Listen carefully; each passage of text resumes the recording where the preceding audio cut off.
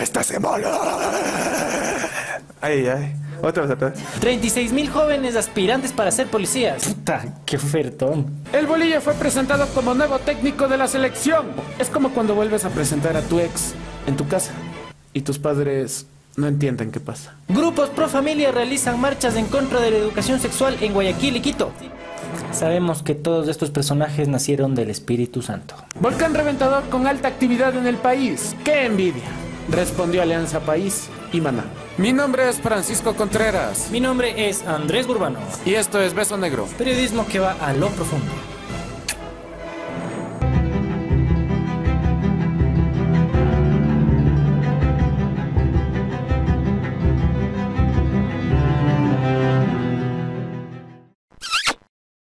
¿Por qué no le creyeron al general Gabela? Sí, amigos, hoy hablamos de la música que se calla, de la rueda que no gira y de los helicópteros que no volaron. ¿Y qué es más?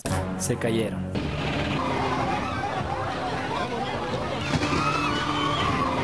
Un nombre bonito tenían estos helicópteros. Drup les llamaban. En sánscrito significaban estrella polar. Y Ecuador compró siete durante la década ganada. Patria, tierra sagrada. Tonto, idiotas. Siete maravillosas estrellas polares compradas a una empresa india que ahora demanda al Ecuador y Ecuador le contrademanda a ella. Pero a ver, ¿por qué Ecuador quería comprar los Druf? Todo empezó por allá hace unos 10 años, en marzo del 2008, en el ataque a Angostura. Luego de que pasó esta vaina, la Junta de Defensa Nacional dijo que necesitaban comprar helicópteros multipropósito. Y Sasam, se creó un comité de contrataciones donde participaron cuatro empresas y salió ganadora la empresa HAL. Asuntos más, asuntos menos. En agosto del 2008 se formaliza en la compra por 45,2 millones de dólares. En ese entonces el ministro de Defensa a cargo de todito esto era Javier Ponce. Pero por otro lado, el comandante de la FAE, el general Jorge Gabela, siempre se opuso a la compra. Siempre. Incluso decían que ni en la India quieren esos helicópteros. Que ni en Chile le veían con buenos ojos a esta compra. Nadie le hizo caso. Pero, ¿por qué?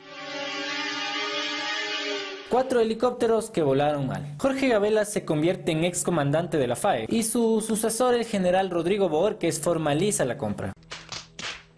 En septiembre del 2009 llegan las famosas estrellas polares, o DRUF. Cinco llegan primero y tiempo después las dos restantes estrellas polares, o DRUF. Este retraso incluso le costaría una multa a la empresa HAL. Los nombres de los helicópteros eran de, de dedo, de dona, de desastre. Y pasó lo siguiente. Octubre del 2009 cae el helicóptero D604 en Quito.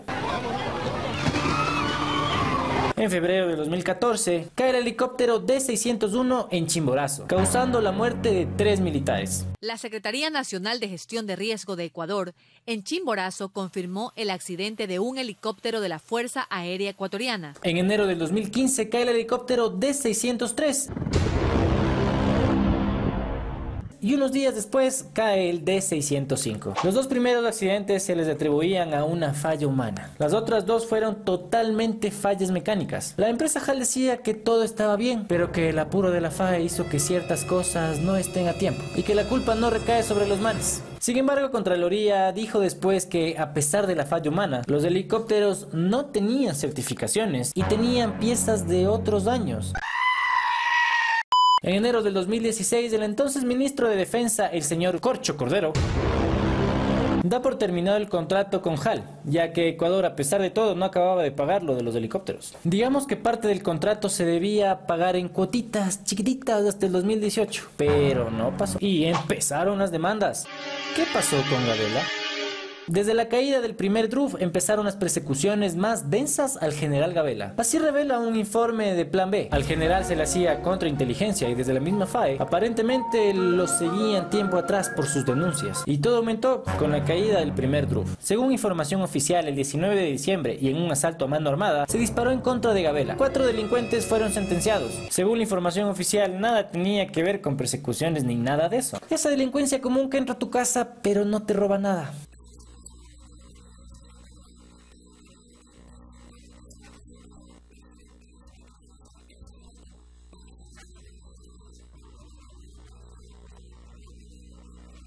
Y según la información oficial, se pagó a un perito argentino para que investigue el asesinato, aparte de la fiscalía. El perito presentó dos informes sobre el caso Gabela, pero lo que emitió la información oficial es que en realidad hubo un tercer informe. que relacionaría el asesinato del caso Gabela con la compra de los DRUF y las denuncias de persecución en su contra. El acta entrega-recepción en sus antecedentes señala específicamente que el 11 de abril y el 15 de mayo se recibieron el primero y el segundo producto.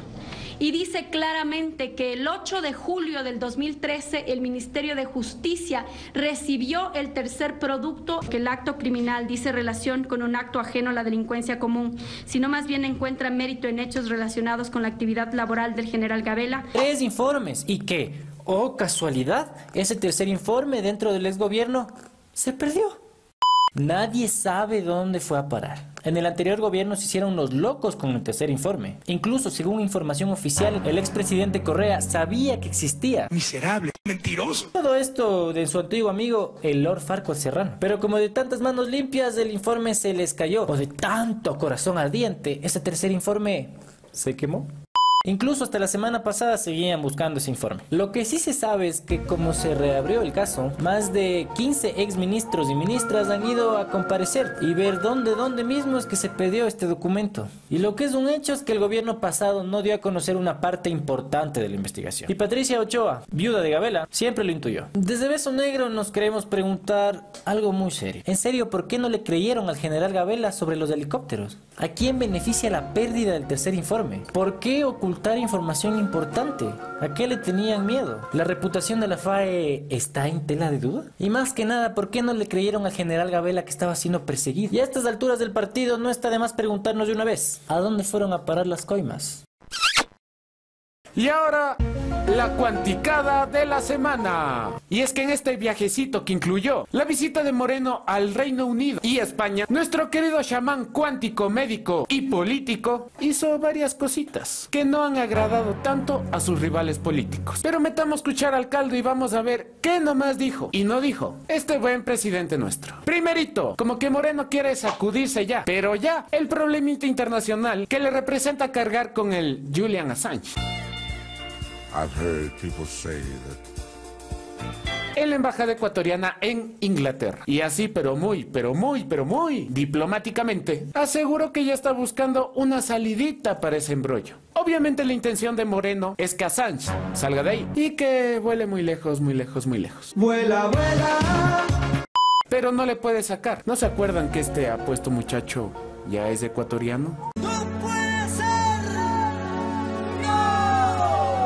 Además parece que nadie se acuerda que Assange nos contó esto. Según los documentos, como resultado de la guerra desencadenada por Washington durante este tiempo en Irak, Esta fue una de las revelaciones cruciales del portal Wikileaks, que demostró uno de tantos errores militares de Estados Unidos. Y esto. Las siete revelaciones de Wikileaks más perturbadoras. Y parece que ahora solo fuera un aparecido que nunca debió llegar. En fin, y luego Moreno anunció que sobre la corrupción no se puede pasar ni una, porque cuando se pasa una, se pasan todas. Como si no hubiéramos escuchado eso desde hace tiempo. Justo en ese momento Moreno explicó que el eje principal del pacto será la independencia y la autonomía de todas las funciones del Estado. Luego que garantizará el control y por tanto cerrará el camino de la corrupción. Pero esperen, ¿y la jueza que liberó a Espinel? Espinel no era amiguito de Moreno. Independencia de los poderes, le dicen ahora. Aunque bueno, en Beso Negro aceptamos que la elección del Trujinator para encabezar la cirugía a la corrupción fue Pepa, mi pana belleza. Para finalizar, no podríamos irnos sin antes decir que Moreno cada día se parece más a Estito. Y no, no se me ofenda, señor presidente conciliador, charlador y labioso. De otro modo, en Beso Negro no entendemos cómo pudo decir esto. No sé, por darle un nombre así al apuro, para salir del apuro, le hemos llamado, mientras encontramos un nombre mejor, le hemos llamado progresismo moderno. Eh, ¿Qué quiere decir progresismo moderno? Pues les voy a explicar en dos o tres palabras. No lo sé. no lo sé. Volví perras. Ponras eso, chucha. Gracias por vernos esta semana. Recuerda siempre comentarnos abajo en la cajita de comentarios que nosotros te respondemos sin duda. Así que pilas, ya sabes, suscríbete, dale a la campanita y síguenos dando mucho amor en Facebook, en Twitter, en Instagram. Siempre te vamos a amar a pesar de que seas un hater maldito odiador. Adiós.